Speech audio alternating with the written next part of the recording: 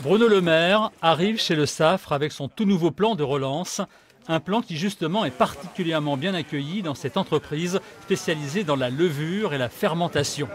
Le SAFRE, qui travaille à 80% pour l'exportation, a deux grands projets, dont celui de produire un complément alimentaire pour soulager les douleurs articulaires.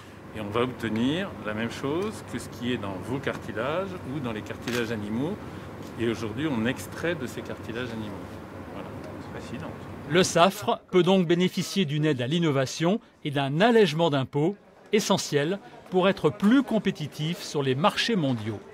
Le plan gouvernemental nous permet de renforcer la compétitivité de toutes nos productions en France, puisque comme société industrielle, nous sommes soumis à l'impôt de production.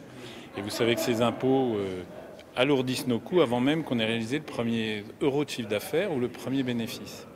Et l'essentiel de nos activités sont des activités à l'export et nous sommes face à la concurrence mondiale.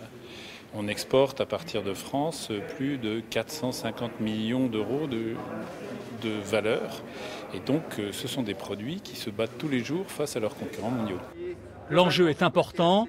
Une nouvelle usine pourrait voir le jour à Denain, l'une des villes de la région les plus durement touchées par le chômage.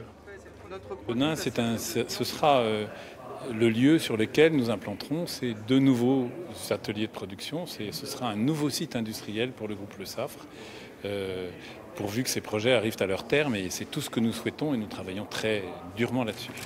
Enfin, la visite s'est terminée par la présentation du futur campus où le SAFRE accueillera en 2022 400 scientifiques.